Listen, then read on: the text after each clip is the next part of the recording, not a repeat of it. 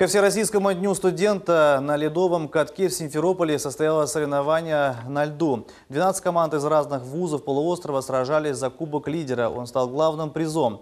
Оценивали участников соревнований по пяти критериям – скорость, сила, умение держать баланс, меткость и интеллект. Собираем э, комитеты спортивные для того, чтобы как-то организовывать ребята, э, проводим какие-то состязания увлекательные, чтобы было интересно студентам.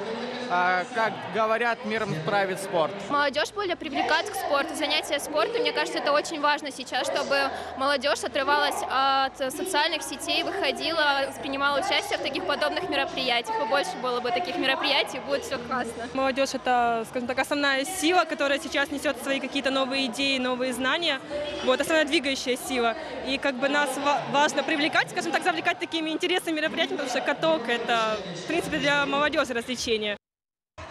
Масштабный турнир студенческих игр «Кубок лидера» организован общественным движением «Путин Тим».